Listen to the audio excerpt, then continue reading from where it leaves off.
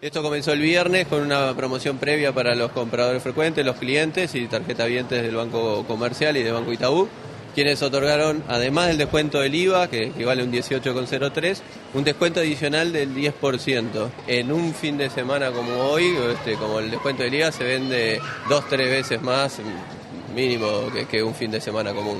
Para algunos comercios esto representa un mes más de venta. ¿Cómo es esto? Sí, en realidad eh, históricamente se hace, el descuento del IVA se hace en los meses de junio, en, el mes de noviembre y la última oportunidad en el mes de, diciembre.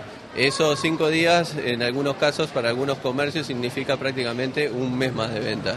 Nosotros recibimos en el entorno de un 100% más de público. Entendemos que un fin de semana como este, entre los tres días, pasan más de 250.000 personas por el shopping.